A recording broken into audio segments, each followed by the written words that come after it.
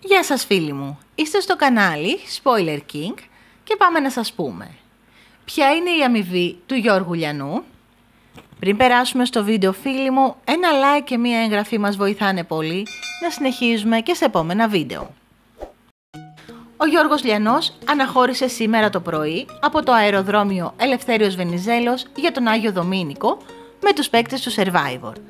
Τα γυρίσματα αναμένεται να ξεκινήσουν μέσα στις επόμενες ημέρες. Όπως έχει γίνει γνωστό, ο φετινός κύκλος θα είναι μικρότερος από 6 μήνες που έχουμε συνηθίσει, ενώ και οι συνθήκες θα είναι δύσκολες. Άκουσαν λοιπόν τους τηλεθεατές και αποφάσισαν να κάνουν πράξη τα αιτήματά τους, με ένα από αυτά να είναι η βάση στη μέθοδο της επιβίωσης. Όσο για τους παίκτες θα δούμε πρόσωπα που δεν έχουμε ξαναδεί. Τα επεισόδια θα είναι 2 ώρα, θα ξεκινούν 9 και θα τελειώνουν στις 11. Τώρα, όσο για τον Γιώργο Λιανό, ο οποίος αφήνει την οικογένειά του για μεγάλα διαστήματα, πληρώνεται όμως καλά.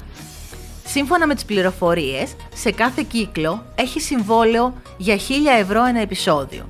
Δηλαδή, πληρώνεται μηνιαίως με περίπου 20.000 ευρώ.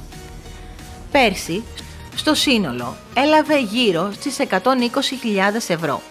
Ωστόσο, όπως καταλαβαίνετε, από τη στιγμή που φέτος η διάρκεια του παιχνιδιού μειώνεται, σε σύνολο θα λάβει πολύ λιγότερα χρήματα.